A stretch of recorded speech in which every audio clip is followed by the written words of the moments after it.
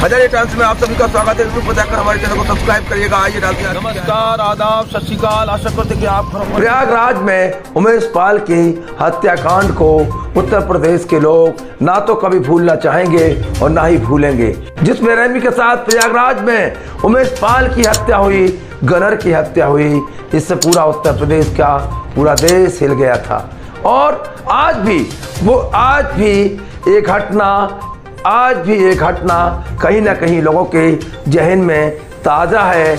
वहीं अगर हम अतीक अहमद की बात करें, अतीक अहमद के साम्राज्य की बात करें, अतीक अहमद की दहशत की बात करें तो इसको लेकर लोगों में कहीं ना कहीं आज भी आक्रोश है। वहीं अगर हम उत्तर प्रदेश के मुखिया योगी आदित्यनाथ की बात करें कि जब से योगी आदित्यनाथ ने कहा है कि माफियाओं को मिट्टी में मिला देंगे, ये शब्द कहीं ना कहीं विपक्ष के कानों में चुभ रहे हैं। प्रयागराज सहित उत्तर प्रदेश का पूरे देश में लोगों के कानों में ये ये जो योगी आदित्यनाथ के वाक्य हैं, ये शब्द हैं, ये माफियाओं को चुनौती है, ये आम लोगों के लिए किसी सुकून से कम नहीं है। ये दहशत उनके लिए है जो माफिया हैं, गुंडा हैं, जिनके लिए पुलिस का खौफ है। जिनका काम लोगों का, लोगों की जाने लेना, जिनके लिए लोगों की ज़िंदगी इतनी सस्ती है कि वह लोगों की ज़िंदगी की अहमियत नहीं समझते। जब उनकी खुद की बारी आती है, तब उन्हें उस ज़िंदगी का एहसास हो रहा है। जी हाँ आप इस बात को अब पकड़िए। इस बात पर गौर करिए माफिया की ज़िंदगी आज उत्तर प्रदेश में फड़फड़ा रही है, छटपटा रही है। वहीं डर रहे हैं, काँप रहे हैं। योगी आदित्यनाथ ने जब से खुली चुनौती दी है, अतीक के गुर्गों से लेकर अतीक के बेटे असद तक पर पुलिस का चक्रव्यूह कसता जा रहा है। ये बिल्कुल बच नहीं पाएँगे, ये जहाँ भी होंगे, पुलिस उन्हें दबोचेगी। बात का उन्हें भी एहसास है। जिस तरह से प्रयागराज में माफियाओं ने हत्याकांड किया, घटना को अंजाम दिया, यहाँ तक कि इन शूटरों को तो देखो, इन शूटरों के बेखौफ होने, इन शूटरों को बिल्कुल खौफ नहीं था, क्यों इस इस घटना के दौरान ना तो किसी ने नकाब का इस्तेमाल किया, ना ही किसी ने अपने आप की, अपनी आय, अपने चेहरे को छिपाने की बिल्कुल भी कोशिश की। ए माफ़ी, खुलेआम फायर करते रहे, खुलेआम दहशत फैलाते रहे। फुटेज में आए, सीसीटीवी में कैद आए, ये वो जानते थे, ये क्या दहशत फैलाना चाहते थे, ये क्या उत्तर प्रदेश सरकार को डराना चाहते थे, या पुलिस को डराना चाहते थे, या उत्तर प्रदेश के आम आदमी में माफिया का खौफ भरना चाहते थे? ए, इन माफियाओं की जब खुद की बारी, इन, इन्होंने, इनकी नज़रों में, इनकी नज़रों में आम आदमी की ज़िंदगी कितनी सस्ती है इन वीडियो को देखकर, इन फ़ोटो को देखकर, इनकी दमंगाई को देखकर, इनकी फायरिंग को देखकर, इस गुड्डू व बम्बाद की बम्बारी को देखकर आप अंदाज़ा लगा सकते हैं। पर जब इनकी बारी आई, जब इनकी ज़िंदगी की बारी आई तो इनकी पत्नियाँ गिड़गिड़ाने लगी। घर वालों के, इनके घर वालों की आँखों में आँसू आए जब इनकी बारी आई जब इनकी ज़िंदगी की बारी आई।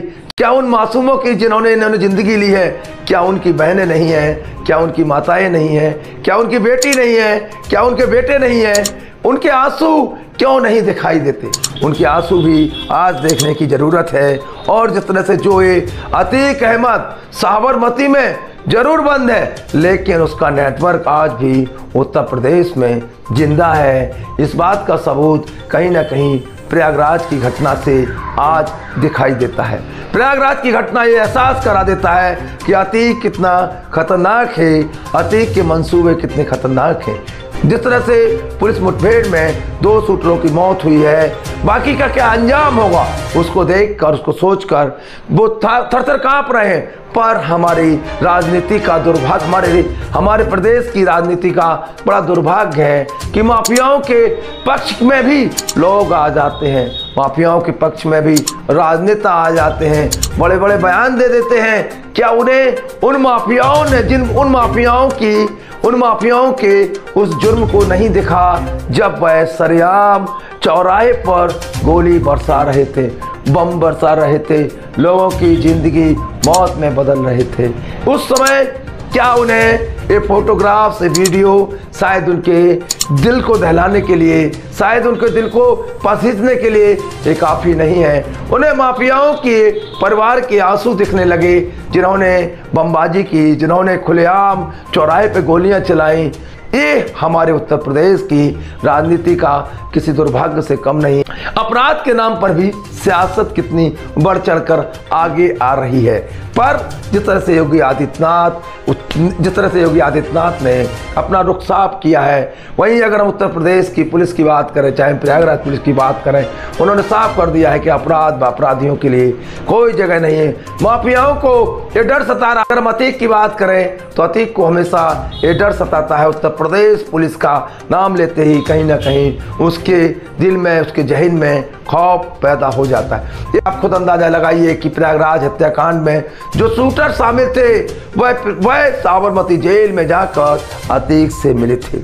और इसके बाद इस घटना को अंजाम दिया गया। आप इससे और, आपको और इससे ज़्यादा क्या सुनने की, क्या देखने की, क्या प्रमाण की ज़रूरत है? माफियाओं के मकान गिरते हैं। जब माफियाओं के मकान जमींदोज होते हैं, उनकी पाप की सियासत जमींदोज होती है तो विपक्ष की विपक्ष की सियासत क्यों डोलती है? विपक्ष विपक्ष की हमदर्दी क्यों डोलती है? प्रयागराज के लोग, कहीं आज प्रयागराज के लोग माफियाओं से अपने आप को छुटकारा चाहते एक ऐसे समाज, एक ऐसे प्रदेश, एक ऐसे प्रदेश की कल्पना जो हमारे प्रदेश के मुख्य योगी आदित्यनाथ ने अपराध मुक्त प्रदेश की कल्पना की है, उसके लिए आज हम सबको एक होने की ज़रूरत की जगह। आज कहीं ना कहीं कुछ लोग निजी स्वार्थ के लिए, आज माफियाओं के लिए अपने, कहीं ना कहीं अपना पक्ष रख रहे हैं। माफियाओं के लिए ये कह रहे हैं कि माफियाओं के लिए कानून है। माफियाओं के लिए न्याय है। माफियाओं के लिए का कानून के दायरे में लाना ज़रूरी है। क्या माफियाओं को खुलेआम चौराहे पर किसी की ज़िंदगी लेने का अधिकार है?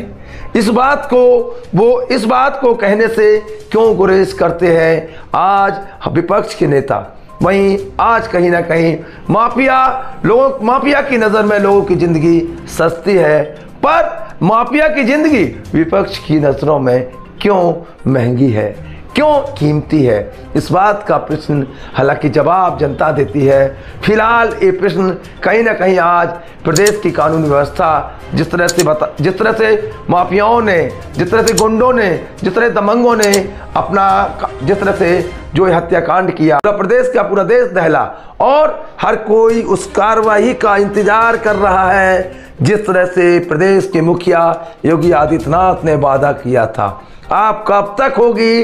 कब तक ये माफिया अपने बिलों में रहेंगे और इनके बिलों से खींचकर पुलिस कब निकालेगी? कब पुलिस के गलेबान पहुँचते इसका हमें इंतज़ार रहेगा? इस पूरे अपडेट से फ़िलहाल यूपी में जिस तरह से माफिया माफ़, जिस तरह से यूपी में माफिया काँप रहे हैं, आम आदमी सुकून महसूस कर रहा है।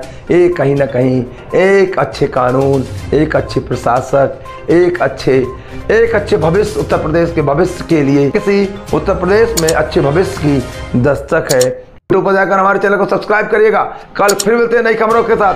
अपना बेहतरी से ख्याल रखिएगा। जय हिंद।